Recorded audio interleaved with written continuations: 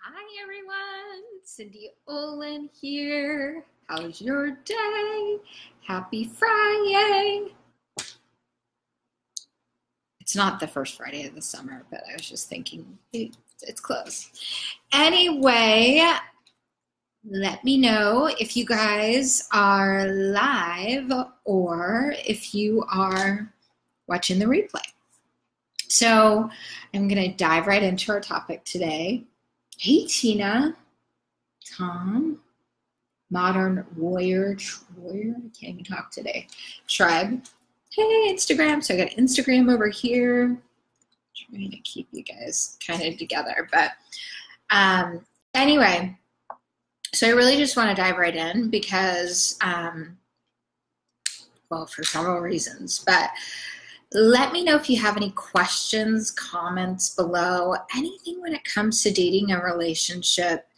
I am here for you. And, you know, know that I want to support you in really creating your luck in love and really creating the kind of relationship that you deeply desire. So, um, you know, please feel free to put thumbs up, hearts, anything.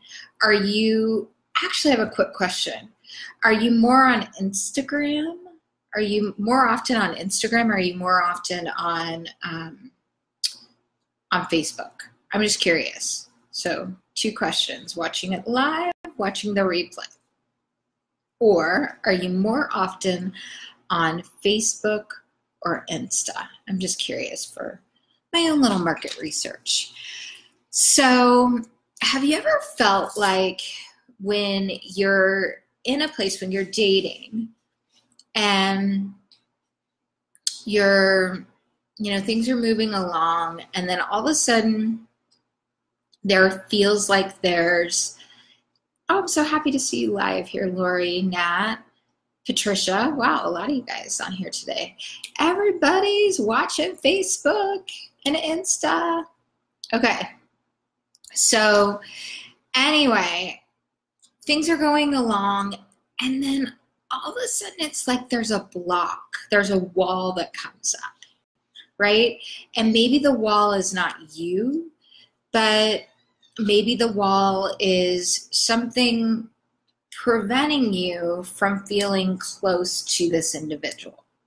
Now, and that could be a number of things. It could be that, you know, early on when you start dating, you start getting to know someone, you don't feel as um, attached to what the outcome is. And then when you become closer to them, there may there may be a feeling of a deeper attachment as to where's this going what does he want why is he pulling away right so i work with my clients and my programs infinite love and um, and my love vip program around um, uncovering what what things are that might be holding you back from actually having the success in either partnership or relationship that you desire. So, some of those things are I like to keep these pretty simple and feel free to ask me any questions or comments too, because this weekend I am doing um, direct message coaching. So, so, and what that means is just send me a direct message, and anytime this weekend, I will I will um, email coach you and support you around a challenge you may be having. And um, you know, my goal is really to help you to break through anything that might be in your path, and it could even just be a simple little tweak, right? So, the three things that I want to talk to you about is a lot of times what I know about women is, and not all women are like this, so I'm, I'm not trying to put, you're welcome, Lori. Um, I'm not trying to put, you know, any thoughts or ideas in our pathway, but a lot of times with women, what I've seen is they do really well in the beginning because they're, you know, still doing the things that they're passionate about, whether that be yoga, their meditation class, whatever they're whatever you're into, right? Getting together with friends. And then as things seem to progress, life can take on a different form with the partner. So it becomes like the man becomes your identity or if the only time if the only time that he can get together are Wednesdays and Friday nights and you have a Wednesday night class that you absolutely love oops. Sorry. Face sorry insta. Um, and you decide to do this thing that's you know i called almost melding yourself into what um, into his schedule. Now I'm not to say that that you know we we don't want to negotiate our schedules or our time together as things progress in relationship and that can be discussed right? But you know if you're if you're taking on more of his life, then what happens is the relationship actually loses what I refer to as tension. It, it, it loses its appeal because a man actually senses it, whether you tell him or not that you're skipping your favorite class or whatever, that you're actually not valuing yourself on a higher level. And you weren't you actually changed from the woman that he became really attracted to in the beginning.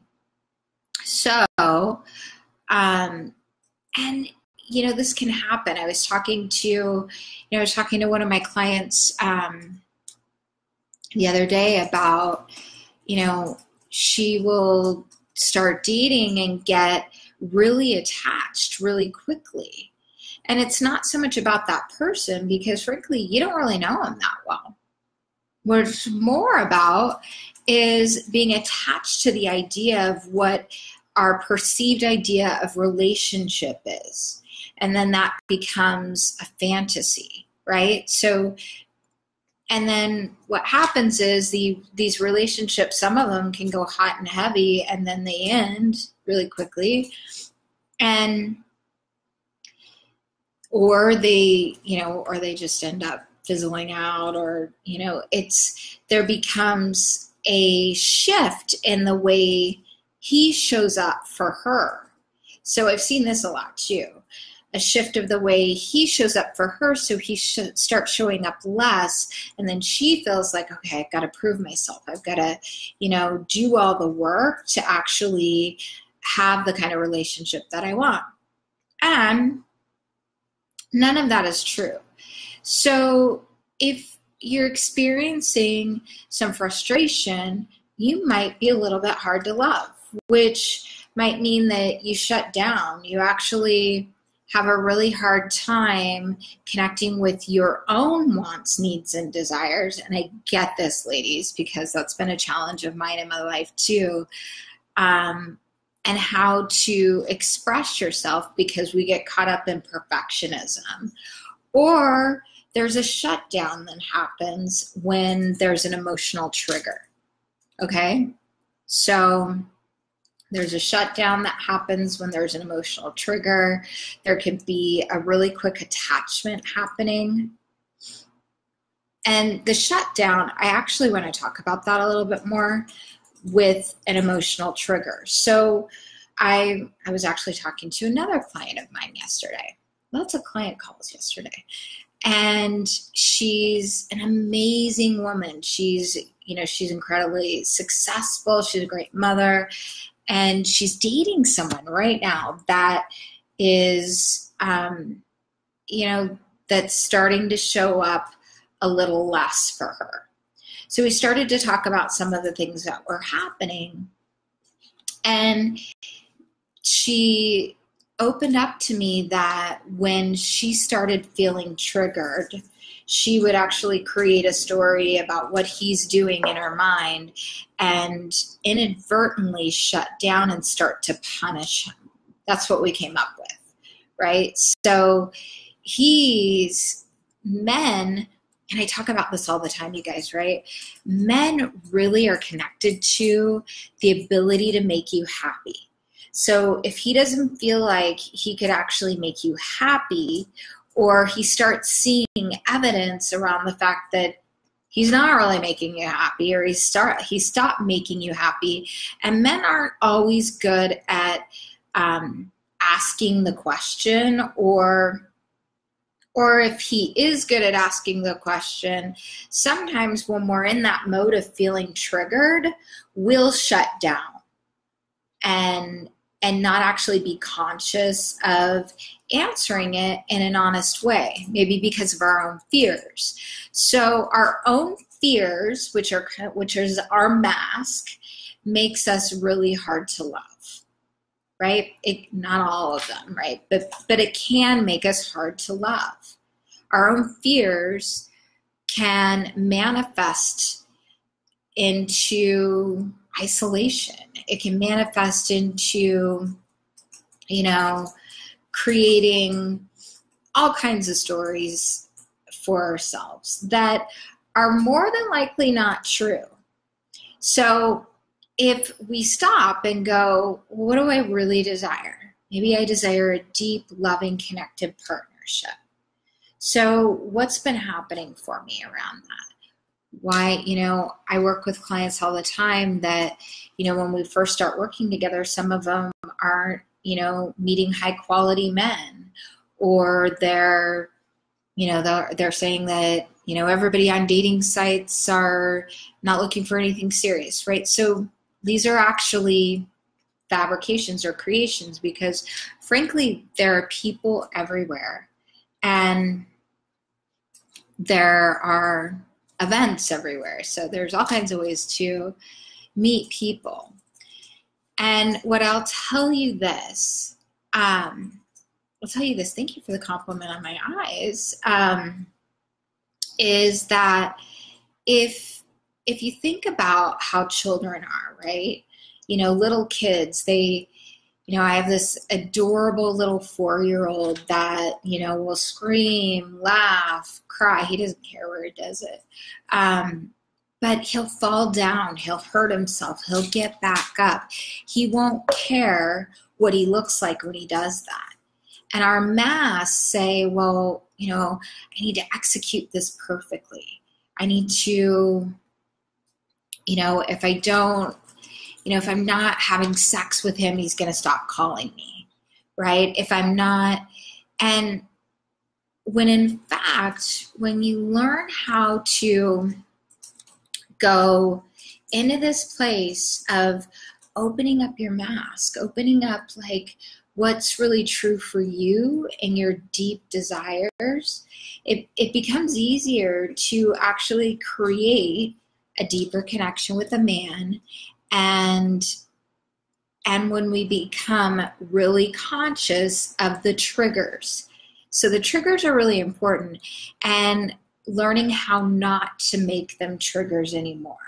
Learning how to not let them affect us. Now i get it. I get triggered all the time but i've learned how to really unhook from them quickly so that I don't allow it to take up space in my life so that I can open up for deep connection and love. So, you guys, I hope this has been helpful. Please feel free to write your questions, comments below. And look, be vulnerable because one of your questions or comments could actually help someone else to um, you know, unhook from a story that they're telling themselves or um, really help them to connect deeper with their soulmate that they're with currently. So, anyway, let me know. I love your questions. I love your comments, guys. And again, I am I am email coaching all weekend long. So can't wait to hear from you. Sending so much love. Now I might be email coaching from the beach. I'm just saying because it's pretty gorgeous here in San Diego. But have an amazing rest of your day, and I will see you guys back in action on Monday. Mwah, mwah. Bye.